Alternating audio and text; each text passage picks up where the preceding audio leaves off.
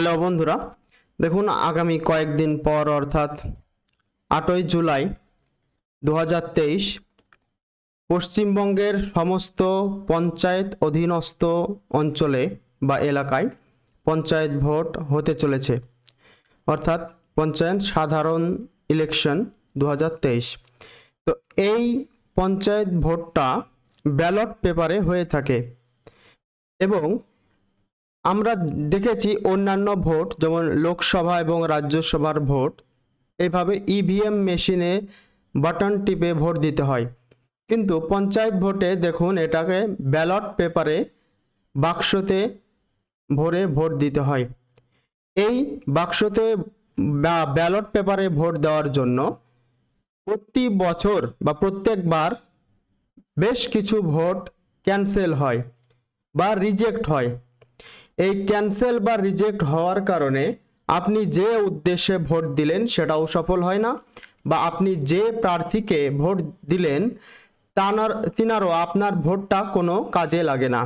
তো আমরা যদি এই ভোটদানের সঠিক পদ্ধতিটা জেনে রাখি, তাহলে আমাদের ভোটটা নষ্ট হওয়ার হাত থেকে রক্ষা করতে পারব। তো আমরা দেখে নিই কী কী পদ্ধতিতে আমরা ভোট দিতে পারি। প্রথমেই দেখছি যে প্রত্যেকটি ক্যান্ডিডেট তিনটি করে ভোট দেবেন। শুধুমাত্র দার্জিলিং এবং কালিম্পং জেলা ছাড়া। অর্থাৎ এই দুটোতে জেলা পরিষদের ভোট হয় না। দেখুন, প্রথম ভোটটা হবে গ্রাম পঞ্চায়েত, তারপরের ভোটটা হবে পঞ্চায়েত সমিতি এবং তৃতীয় ভোটটা হবে জেলা পরিষদ। শুধুমাত্র দার্জিলিং এবং কালিম্পং জেলায়, যেখানে গোর্খা টেরিটোরিয়াল অ্যাডমিনিস্ট্রেশন আছে। সেখানে জেলা জেলা পরিষদের ভোটটা মানে হবে না। এখানে দুটো ভোট হবে। বাকি প্রত্যেকটা জেলায়, অর্থাৎ একুশটা জেলায় গ্রাম পঞ্চায়েত এবং পঞ্চায়েত সমিতির ভোট হবে, যেখানেই পঞ্চায়েত অধীনস্থ এলাকা আছে। এবং এই তিনটি ভোট তিন রকম বাক্সতে ভরতে হবে। গ্রাম পঞ্চায়েতের জন্য আপনাকে সাদা টিনের বাক্স থাকবে এরকম। সেখানে আপনাকে ভরতে হবে। পঞ্চায়েত সমিতির ভোটটা আপনাকে দেওয়ার পর এখানে গোলাপি রঙের কাগজ লাগানো বাক্সে দিতে হবে এবং জেলা পরিষদের ভোটটা আপনাকে এরকম হলুদ রঙের বাক্সে ভরে দিতে হবে। এবার আমরা দেখি ভোটের কীরকম ব্যালট পেপার থাকবে? দেখুন, গ্রাম পঞ্চায়েতের জন্য সাদা রঙের ব্যালট পেপার থাকবে। সেখানে বাম দিকে প্রার্থীর নাম এবং ডান দিকে প্রার্থীর প্রতীক থাকবে। এরকম একইভাবে পঞ্চায়েত সমিতির বাম দিকে নাম প্রতীক হিসাবে গোলাপি রঙের ব্যালট পেপার থাকবে এবং জেলা পরিষদের জন্য হলুদ রঙের ব্যালট পেপার থাকবে। অর্থাৎ প্রত্যেকটি ব্যক্তি তিনটি করে ভোট দেবেন। গ্রাম পঞ্চায়েত একটা, পঞ্চায়েত সমিতি একটা, জেলা পরিষদ একটা। তো অনেক নতুন ভোটার থাকে বা পুরনো বা মানুষ বা বয়স্ক মানুষ থাকে, তারা অনেক ক্ষেত্রে ভুল করতে পারে। সেই জন্য আমরা এটা শিক্ষামূলক হিসাবে এই ভিডিওটি বানাচ্ছি। তো চলুন দেখুন বৈধ ভোট কোনগুলো। দেখুন, কোন প্রার্থীর নামের উপরে যদি আপনি এই ডিস্টিংগুইশ মার্কটি মারেন, তাহলে সেটা বৈধ হবে। অথবা যদি নাম এবং প্রতীকের মাঝে মারেন, তবুও বৈধ হবে। অথবা যদি প্রতীকের উপরে মারেন, তবুও বৈধ হবে। পরের ক্ষেত্রে দেখুন, যদি আপনি ডিস্টিংগুইশ মার্কটি প্রতীকের উপরে মেরেছেন, কিন্তু আপনার হাতে বা অন্য কোনোভাবে কোনো রকম কালি লেগে গেছে অন্য কোনো খাতে। সেক্ষেত্রেও আপনার ভোটটা বৈধ হিসাবে ধরা হবে। তবে চেষ্টা করবেন এই রকম কালি যেন আপনার দ্বারা না লাগে। তারপরের কেস দেখুন। আপনি এ ক্যান্ড বা প্রথম ক্যান্ডিডেটকে বা এক্স ক্যান্ডিডেটকে ভোট দিচ্ছেন, কিন্তু তিন জায়গায় ডিস্টিংগুইশ মার্ক লাগিয়েছেন বা বা ডিস্টিংগুইশ মার্কস দিয়ে ভোট দিয়েছেন। এক্ষেত্রেও আপনার ভোটটি বৈধ হবে। অর্থাৎ একই প্রার্থীর সোজা আপনি একটা, দুটো বা তার অধিক ভোট দিলেও আপনার ভোটটা বৈধ হবে। পরের ক্ষেত্রে দেখুন, দুটো প্রার্থীকে যে আলাদা করা আছে একটা ব্ল্যাক বার দিয়ে, এই বারের উপরে আপনি ভোটটা দিয়েছেন, কিন্তু একটু অংশ আপনার একটা প্রার্থীর দিকে গেছে, উপরে বা নিচে যেতে পারে, এক্ষেত্রেও আপনার ভোটটা বৈধ হিসাবে ধরা হয়। তারপর দেখুন, প্রথমে আপনি হয়তো একটা কালি লাগিয়েছেন, কিন্তু কালি ভালোভাবে না লাগার জন্য আবছা উঠেছে এবং তারপরে আপনি আবার কালি লাগিয়ে দুবার মেরেছেন। এক্ষেত্রেও একটি প্রার্থীকেই আপনি তিনবার ভোট দিয়েছেন বা তিনবার কালি লাগিয়েছেন, এক্ষেত্রেও আপনার ভোটটা বৈধ হিসাবে ধরা হবে। এরপরে দেখুন, আপনি হয়তো কালি লাগিয়েছেন, কিন্তু ভালোভাবে কালি না লাগার জন্য এক্ষেত্রে আপনার পুরো ডিস্টিংগুইশ মার্কের ছবিটা আসেনি, স্পষ্ট আসেনি। এক্ষেত্রেও আপনার ভোটটা বৈধ হবে। যদি এটা দেখতে এমন মনে হয় যে আপনি ডিস্টিংগুইশ মার্ক দিয়েই এই কালিটা লাগিয়েছেন। তারপর দেখুন এই ক্ষেত্রে আপনি একটু বাইরের অংশে কালি লাগিয়েছেন এবং কিছুটা অংশ আপনার প্রার্থীর বা চয়নকৃত প্রার্থীর মধ্যে আছে।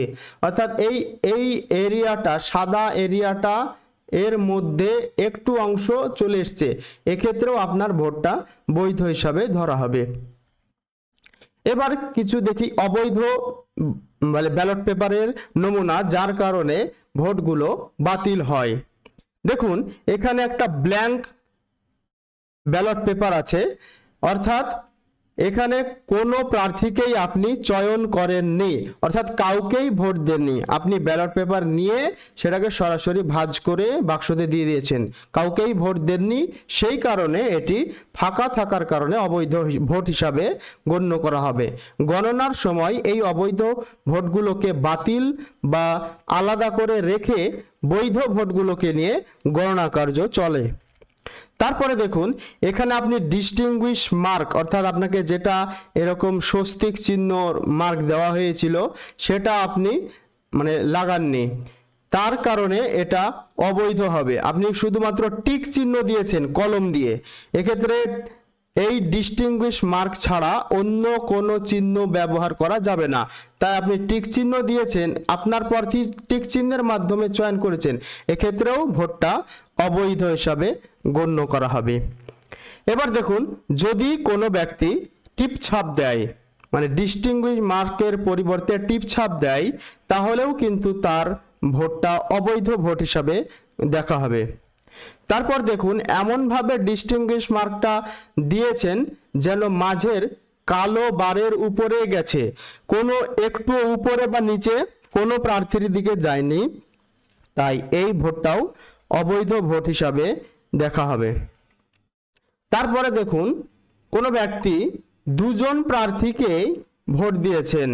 অর্থাৎ এই ভোটটাও অবৈধ ভোট হিসাবে গণ্য করা হবে। অর্থাৎ আপনাকে যে কোনো একটি প্রার্থীকেই ভোট দিতে হবে।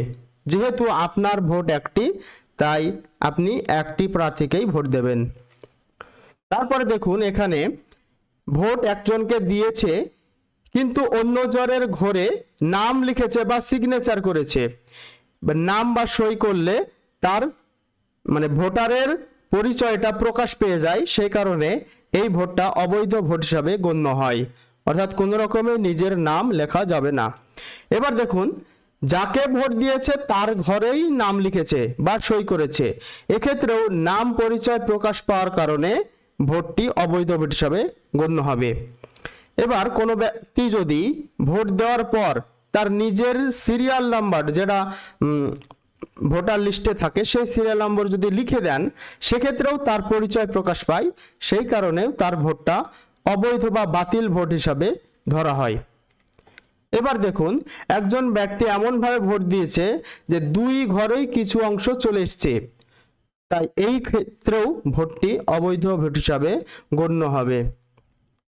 এবার কেউ যদি ব্যালট পেপারের উল্টো দিকে ছাপ দেয়, সেই উল্টো দিকে ছাপ দিলেও তার ভোটটা বাতিল বা অবৈধ ভোট হিসাবে গণ্য হবে। তাই আপনারা আপনার মূল্যবান ভোটটি খুব যত্ন সহকারে বৈধ পদ্ধতিতে দিয়ে আপনার এলাকার স্থানীয় নেতা আপনি পছন্দ করতে পারেন, যার দ্বারা আপনার এলাকার সরকার বা স্থানীয় সরকার পাঁচ বছরের জন্য পরিচালিত হবে। এবার দেখুন, নির্দিষ্ট বাক্সে ভোটদান। অর্থাৎ গ্রাম পঞ্চায়েতের ভোটটা সেই নির্দিষ্ট গ্রাম পঞ্চায়েতের সাদা রঙের টিনের বাক্সে আপনাকে দিতে হবে।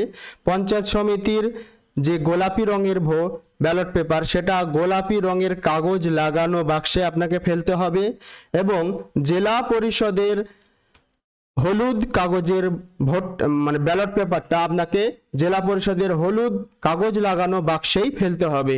যদি আপনি এখানে ভুলভাল করে অন্য এক ভোটের এক ব্যালট পেপার অন্য বাক্সে ফেলে দেন, তাহলে কিন্তু গণনার সময় সেই ব্যালট পেপারটা বাতিল করা হবে। তাই আপনি আপনার ভোটটা সঠিকভাবে জেনে বুঝে দিন। আমাদের ভিডিওটা আজকে এই পর্যন্তই। ভিডিওটি দেখার জন্য অনেক ধন্যবাদ। আপনি যদি প্রথম ভোটার হয়ে অবশ্যই উপকৃত হবেন এবং আপনার পরিবারে যদি এমন কেউ থেকে থাকে যিনার ভোটদান পদ্ধতি বা ব্যালট পেপারে ভোটদান পদ্ধতির অভিজ্ঞতা নেই, তিনাকে আপনি মানে ভিডিওটা শেয়ার করতে পারেন। আমাদের ভিডিওটা ভালো লেগে থেকে লাইক করবেন এবং আমাদের চ্যানেলটাকে সাবস্ক্রাইব করবেন। এবং আপনারা আপনার পরিবারের বয়স্কদের সঙ্গে বা নতুনদের সঙ্গে ভিডিওটা অবশ্যই শেয়ার করবেন। ধন্যবাদ।